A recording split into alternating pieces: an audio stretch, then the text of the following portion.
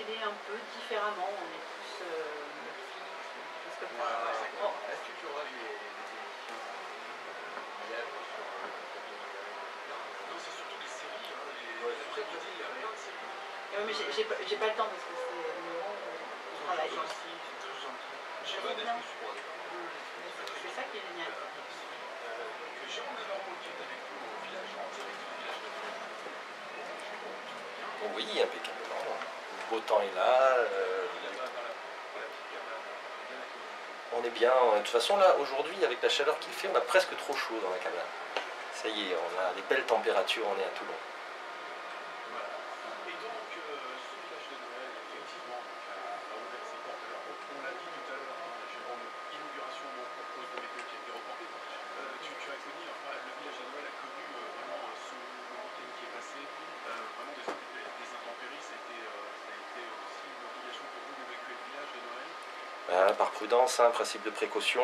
euh, il a énormément plu, il y a eu du vent. euh, déjà, le mérite en revient aussi aux équipes techniques qui ont installé ce village, parce qu'effectivement, ça prend peut-être du temps de l'installer, mais justement parce qu'on sait que les intempéries peuvent être fortes chez nous.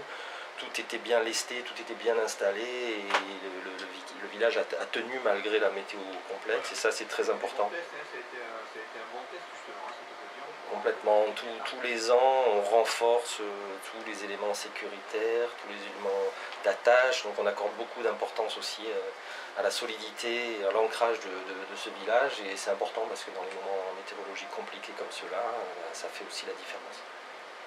Alors, c'est parti jusqu'au 31 décembre, c'est ça, Jérôme Navarro, de un mois, un peu plus d'un mois euh, de, de, de fêtes, de féeries, de magie. La magie de Noël, voilà, chaque année c'est euh, l'objectif d'apporter plus d'animation, plus de festivités, plus de parades, plus de spectacles, plus de décors, plus d'illumination. Et alors ben voilà, ça passe par des mercredis euh, animés, notamment tous les mercredis pour les enfants. Mercredi 27, on aura des, déguisements de princesse. On a un chalet associatif qui est euh, investi et où nos partenaires euh, qui nous aident dans l'animation de la ville tout- toute l'année sont aussi présents sur ce village. Le 4 décembre, on aura le- les jeux de société géants avec l'association Les Yeux dans les Jeux. On a aussi euh, des chorales, les chorales d'hommes cantadis qui viendront. On a le Chœur du Sud qui va être aussi euh, très présent sur le village et dans la ville. Des parades qui vont... Euh,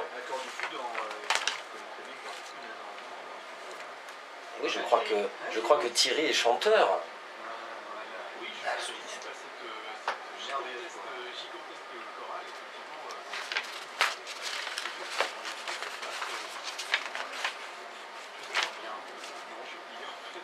Alors, C'est pour ça que je connais plutôt. Pourquoi je te vois du Litanie Qu'est-ce que, qu'est-ce que, Jérôme Navarro, qu'est-ce qui change par rapport à 2000, euh, 2018 euh, Alors, cette année Chaque année, on a un nouveau décor qu'on fait fabriquer sur mesure, hein, qui est vraiment un point fort parce que c'est un, décor féerique, un décor qui nous met dans la magie de Noël. Donc cette année, c'est l'histoire fantastique des reines du Père Noël. Donc on est vraiment dans, la thématique. Et, et cette dernière scène, euh, scène où le Père Noël euh, s'envole avec ses reines pour distribuer des, cadeaux euh, à tous les enfants est une scène magnifique. Donc je vous laisse venir découvrir l'ensemble de ce décor euh, en extérieur euh, qui est euh, blanchi, qui est euh, sonorisé, éclairé, qui est très féerique. On a cette année euh, de nouveaux chalets, on, investit énormément sur à la fois le qualitatif, c'est-à-dire des artisans euh, locaux, régionaux, des producteurs locaux, que ce soit dans le terroir ou dans l'artisanat. Il y a six nouveautés cette année, donc chaque année on essaye d'apporter des nouveautés. On retrouve notre sapin magique qui est un, point d'ancrage très fort et qui est euh, vraiment un manège exceptionnel pour, toutes les familles et les enfants. On aura cette année beaucoup plus de parades, elles seront plus interactives, elles viendront sur le village mais dans tout le cœur de ville. On a fait de gros efforts sur les décos euh, lumineuses pour là aussi apporter toute la féerie de, Noël. On reproduit la chorale, euh, mais aussi, comme je le disais précédemment, toute forme de, de chœurs, les chœurs d'hommes qui sont très présents sur Toulon et qui viendront animer. Et le chalet des, associa- des associations, pardon, où on aura aussi quelques nouveautés, euh, notamment on l'a dit avec les yeux dans les jeux, euh, les scouts, les de la Targo qui viendra faire des animations provençales. Et puis notre crèche, n'oublions pas notre exceptionnelle crèche, la, plus grande, l'une des plus grandes de France. Voilà.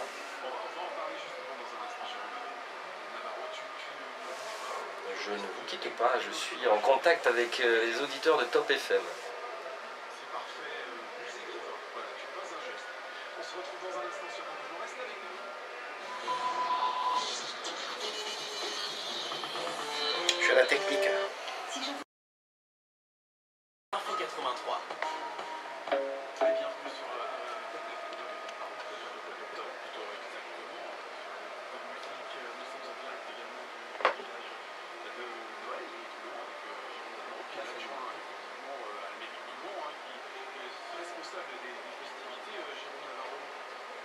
Est directeur de ce village, également maire de ce village de, de Noël. Non, non, non, pas du tout, pas cette prétention-là. Mais euh, voilà, on fait des choses avec le cœur, euh, on veut s'investir et vous savez, quand on, aime la vie, on aime euh, les, les valeurs, la famille et de voir euh, ces milliers d'enfants, ces Toulonnais, ces touristes euh, qui viennent l'espace d'un moment euh, se changer les idées. On est dans une époque euh, difficile, donc ça, c'est apporter un petit peu de bonheur. Ben, c'est beaucoup de joie, je crois, quand on est élu, parce qu'avant tout, on, est responsable, on a des, on a des devoirs et voilà, on a envie de bien faire les choses. Jérôme, justement, combien il y a de chalets euh, cette année euh, sur la place de la Liberté à Toulon Alors cette année, on a 45 chalets euh, artisans, hein, commerçants, sachant qu'on a d'autres chalets qui sont, euh, bon, on a le chalet du, du sapin, on a les chalets techniques, on a le chalet de l'animateur, on a, on a beaucoup de chalets sur le, mais on a véritablement euh, commerçants, je dirais 45 chalets. Euh, voilà, on en a deux, deux chalets supplémentaires par rapport à l'année dernière, donc là aussi on, est monté en puissance. Et là encore, c'est un travail euh, exceptionnel des équipes parce que c'est pas évident de, trouver des personnes qui viennent euh, euh, pendant plus de 40 jours sur des créneaux horaires importants. C'est c'est un vrai challenge et c'est des petits commerçants. On n'est pas Amazon, on est des fabricants locaux. On prend des risques et puis donc nous on se doit aussi, euh, élus et responsables du village, de, de leur garantir par nos efforts, par la communication, par la qualité du village, qu'ils vont s'y retrouver parce que c'est un investissement important pour eux. Et au-delà de la qualité des produits qu'ils proposent, nous, on est là pour leur garantir que ce village va être fréquenté. D'où aussi euh, l'intérêt de commencer à monter, à créer ce village dès le mois d'octobre. Voilà, alors mi-octobre, nous sommes là parce que on, on en parlait précédemment, il y a la sécurité, il y a installé énormément de, kilomètres de barrières, de blocs béton, euh, tout le dispositif de sécurité, toute la réglementation.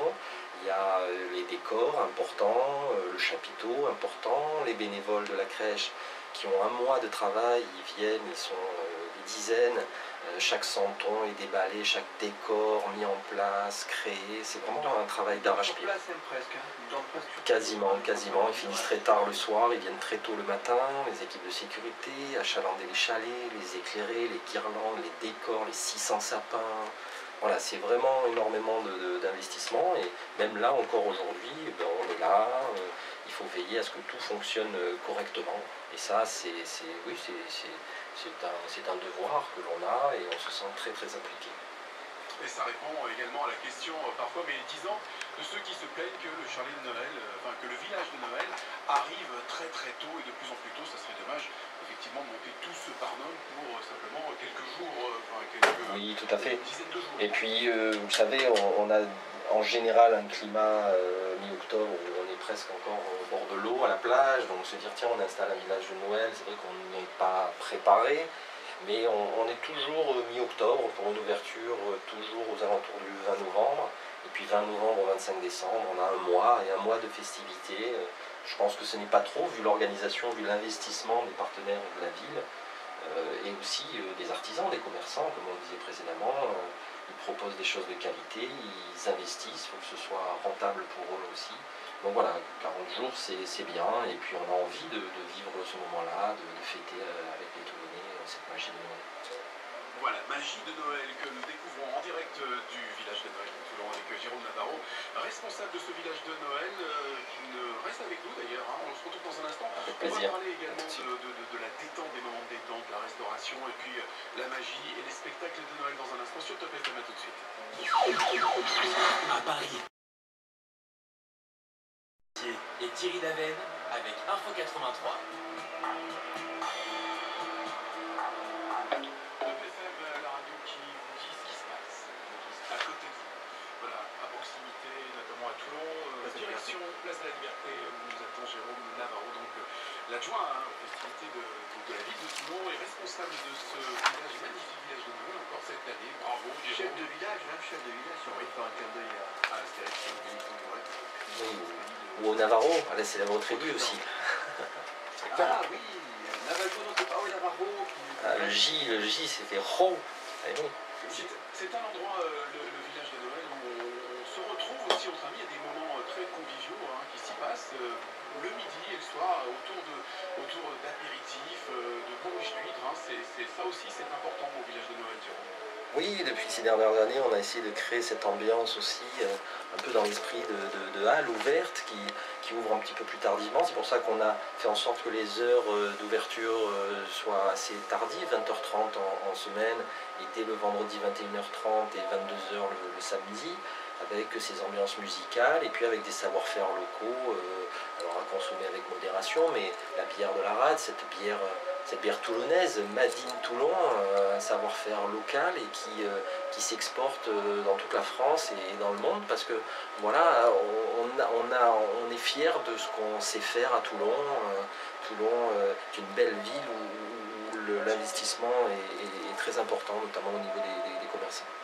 Dis-moi, Jérôme, est-ce que tu t'imposes en tant que chef de village, comme on vient de le dire, est-ce que tu t'imposes toi de déguster et de goûter à toutes les, les bonnes victuailles et, euh, et- et- et les bons qui sont proposés pour que tout soit parfait Oui, hein, bien sûr. Bah écoutez, j'ai une petite faiblesse, je, suis bon vivant et, c'est vrai qu'il y a de très bonnes choses à dé- déguster sur le village. On a une allée gourmande qui est, qui réputée où, l'ensemble des, intervenants euh, donnent le meilleur d'eux-mêmes pour faire des produits de, qualité et je crois qu'effectivement il n'y a pas un chalet où, la dégustation ne sera pas euh, merveilleuse, j'ai pas peur de le dire coup on, se retrouve le soir entre amis avant d'aller au spectacle, avant d'aller au Théâtre Liberté, avant d'aller voir l'expo Picasso, parce que la culture bat son plein dans le cœur de Toulon. Et euh, bah, ce village est là aussi central et permet avant, après de venir, de s'y retrouver, d'y passer un moment. Et puis de, se retrouver tous. Voilà, ça c'est le maître mot. Parce que ce qu'on veut donner, euh, c'est euh, euh, du rassemblement. C'est-à-dire qu'en ces périodes-là, euh, jeunes, moins jeunes, de toutes catégories socio-professionnelles, on a envie de, de se retrouver, de partager. Il y a tellement de choses dans cette société maintenant qui nous oppose que ce village, c'est un lieu de rassemblement. Euh, Jérôme, juste, qu'est-ce qu'on peut trouver d'autre que la gastronomie, que les poissons, les aliments? Qu'est-ce qu'on peut trouver de la fromage, du fromage, on peut trouver de, de- des salaisons, des produits de salaison? Ah, en- à, emporter Ah oui, à emporter, il y a des Non, tout Est-ce qu'il y a des, produits qu'on peut, qu'on peut acheter pour moi? Évidemment. il y a Bien sûr, on parlait du, on parlait du savon toulonnais, on parlait de l'artisanat russe qui plaît beaucoup. Alors, c'est pour ça que je vous demandais si c'est des choses qui se mangent. Il y a plusieurs choses. Non, non, non, on va passer sur des trucs qu'on achète pour faire plaisir pour les.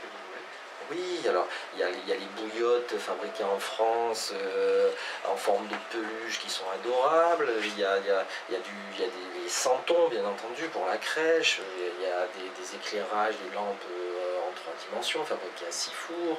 On a donc euh, le savon toulonnais, je le disais. On a euh, les marrons de Colombrière, tous les savoir-faire autour euh, du marron, les bijoux artisanaux, des sacs. On a les chocolats de, de, de, de Tesser à Soliès, euh, des, produits de qualité. On a le vendeur de chapeaux, d'écharpes qui est aussi euh, sur Toulon. On a, vraiment énormément de choses et toujours très, très qualitatives. Et ça, c'est un vrai plus. euh, artisanat du cuir. et puis voilà, si on revient sur l'alimentaire, ben, on a, les huîtres, on a les plateaux de fruits de mer, on a des, foie gras exceptionnels de, de la ferme Larieux. Euh, J'en passe et des meilleurs. On a vraiment de très très choses. Jérôme, vous avez fait quand même aussi attention d'avoir une offre euh, vraiment plurielle et pour pas non plus euh, euh, concurrencer les commerçants locaux. C'est ça qui est bien aussi au marché de Noël. Il faut faire une attention pour que tout le monde vive en harmonie euh, partout. Voilà, ça aussi c'est un vrai challenge. On demande euh, dans le règlement euh, que les personnes, quand elles postulent, nous envoient leurs propositions de produits, on les regarde et on fait en sorte que dans l'ensemble, chaque chalet ait sa spécificité, qu'il n'y ait pas deux ou trois chalets qui proposent les mêmes produits. Donc ça c'est un vrai, un vrai plus aussi. et Jérôme, euh, reste avec nous encore une fois. On va parler euh, ce qui se passe également autour de la place de la Liberté. Exactement, un peu plus Place- bas, la patinoire. à la patinoire. Dans un instant sur Top FM, à tout de suite. Sur le port de Toulon, on écoute Top FM sur 88.6.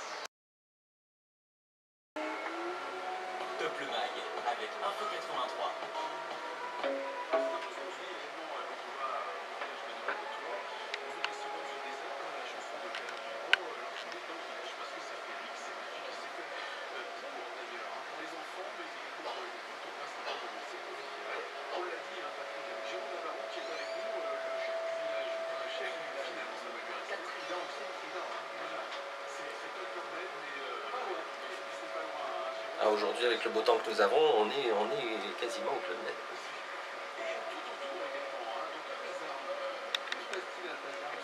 C'est tout le cœur de, ville et les quartiers qui, vivent Noël à Toulon. On les a vus avec les nouveaux éclairages, les arches aussi lumineuses. Et puis, les incontournables, comme j'aime à les appeler, c'est aussi la patinoire qui plaît au plus grand nombre. Donc à partir du 11 décembre, 11 décembre pardon, sur euh, la place d'Armes, on aura la patinoire. On aura un nouveau carrousel à deux étages, un très beau carrousel aussi. Donc une attraction très forte sur euh, cette place d'Armes. Et puis tout proche aussi, à partir du 11 décembre, sur la place de l'Équerre, on aura une Toulon en lumière, une, forêt immersive, enchanteuse, un décor euh, de, de sapins, mais de lumière, mais sonore, une parenthèse de poésie qui inviteront, euh, je dirais, les, visiteurs à traverser euh, de jour comme de nuit une véritable immersion et de découvrir la féerie aussi d'un décor exceptionnel. Est-ce qu'on a, Jérôme, les, notions de prix pour la cette année? Bon, je sais que c'est pas très cher. Est-ce qu'on le sait euh... Ah. J'avoue que je me pose une colle. Oui. Euh, allez, sur le, allez sur le site internet de la ville, euh, tout est, voilà, tout est indiqué. quant, au, quant à la crèche aussi, donc il y a un tarif enfant, il y a un tarif adulte. Oui, pour les tout petits, c'est gratuit. Après, pour les enfants, c'est 1 euro. Et pour les adultes, c'est 3 euros.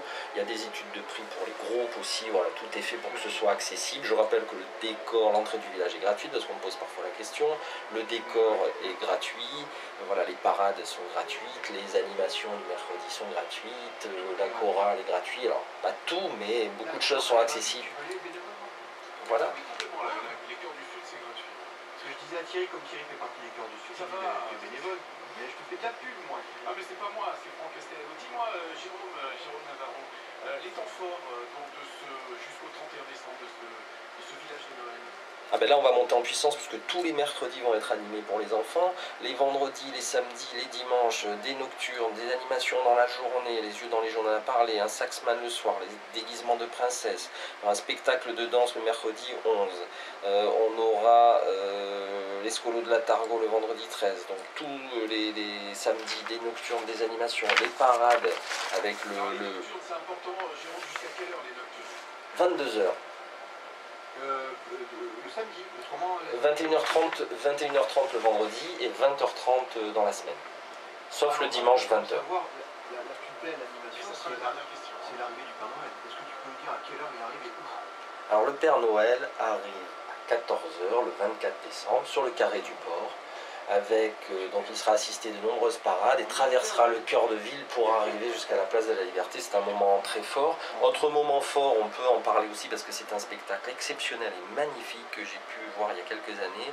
Du 22 au 25 décembre sur la place de la Liberté aura lieu un spectacle qui s'appelle le Cario de Noël. C'est un décor exceptionnel, ce sont des artistes vraiment de grande qualité qui vont euh, se produire euh, pendant ces jours-là sur la place de la Liberté. Donc j'invite le plus grand nombre à venir voir ce spectacle, il est vraiment exceptionnel. Merci Jérôme Navarro qui était en direct euh, du village de, de Toulon, place de la Liberté, mais aussi place d'Armes, place de l'Opéra également. Il y a aussi euh, un jour un arbre de Noël, non là-bas Il y a le sapin, un sapin magnifiquement éclairé par les équipes de la ville. Il y aura aussi une projection d'un tapis rouge sur les marches. Et puis on aura euh, la chorale Cœur du Sud euh, pour sa première édition qui viendra. Euh, Arrête, Jérôme, c'est trop là. Tu as Thierry. Tu as Bon. Jérôme Navarro, merci beaucoup. Alors bon, bonne fête de Noël. Bonne continuation, Jérôme. Toi, Merci.